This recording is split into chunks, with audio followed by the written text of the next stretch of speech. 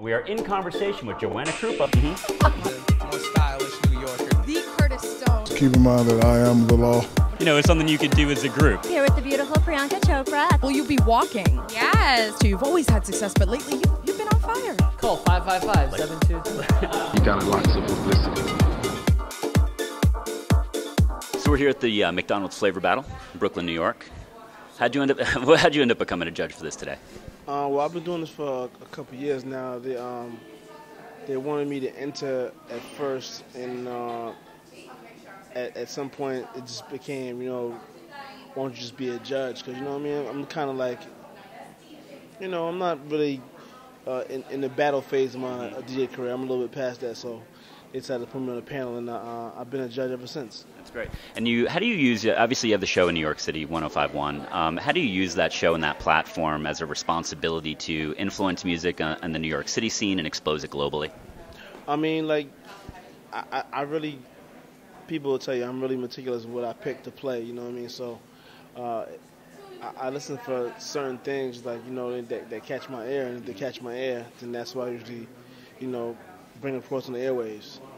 Is that really what it's about? You just kind of you, you hear it and you feel it, or do you have to see someone perform, or does does look even matter anymore in today's like global music community?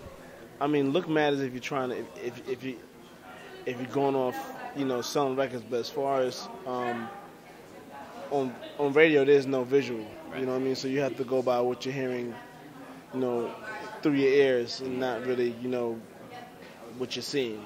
You could you could almost argue that today look means less than it did in the early '80s when MTV popped out, when there actually were videos. You know, because if you remember, you know, you had like Rod Stewart, who's one of the biggest stars because he was one of the only people they had videos on. So it's interesting the transition with YouTube. You would think look matters more, but maybe it doesn't. I mean, it helps as far as you know branding and you know and uh and breaking artists. But I mean, it's it's really all about the music, man. Because at the end of the day, it, it doesn't matter what you look like. If the music is horrible, no one's going to buy into you. Very true, very true. Now, we obviously we just spoke on on how the fact you hear it and you know it, but is there some sort of professional or personal quality that you look for in an up and coming artist, which you feel can help them become the next big thing? Uh, I mean, I, I think my my ears is just trained in a certain way, man, a certain light, man. You know, I've been doing this for a long time, and it's like you know, I, I just listen for certain things, and and you know, when, when I hear it, I know I know that's that's it. Okay. And f- going back a little bit, obviously we're all raised in some way, shape, or form at McDonald's. my favorite memory on Sundays as a treat, my father used to take me for pancakes, you know, and I used to just dig into them. Is there anything like going back as a kid that was your favorite memory or, or favorite food at McDonald's?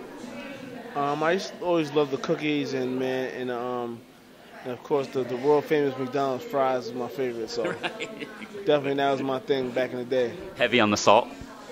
Light, actually, light, on Light the on the salt. Okay, light on the salt. As, as long as they were fresh out the out the fryer, I'm good. I used to wait around for an extra. They'll be like, oh, we'll have a new batch out in 15 minutes. I'll wait.